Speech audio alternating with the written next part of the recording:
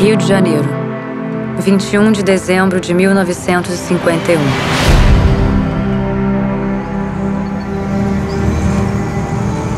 Querida irmã, tenho pensado tanto em você. Continuo esperando suas cartas que nunca chegam.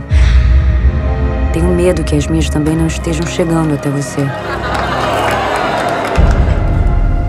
Fico imaginando a sua vida em Viena. Da janela ao lado do piano você vê a neve caindo enquanto toca. Não perco a esperança de que você volte ao Brasil e que nos encontraremos, por acaso, no meio da rua.